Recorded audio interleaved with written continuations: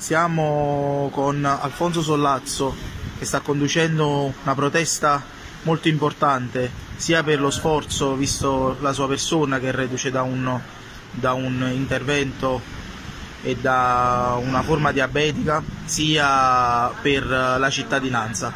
Alfonso, puoi dirci più o meno cosa pensi e per quale motivo stai protestando?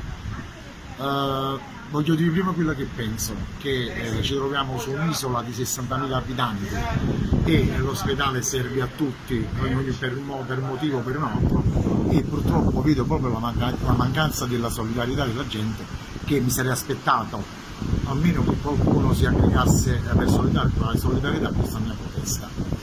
Poi sto protestando perché eh, io venerdì sono stato, ho avuto un intervento eh, diciamo importante. E trovo, ieri mattina sono stato dimesso e mi trovavo a quello del corso per creare i documenti. È arrivato un ragazzo di 44 anni infartuato.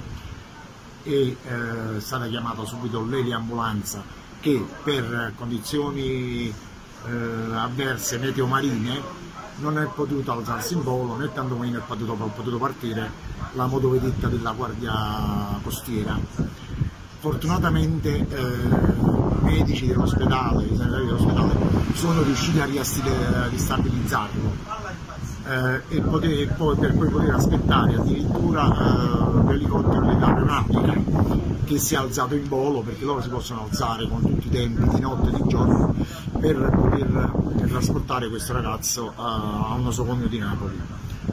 Eh, dico io, ma eh, chi dovrebbe interessare non potrebbe attrezzare questa struttura almeno per i primi interventi eh, per poi con più calma eh, fare questi trasbordi.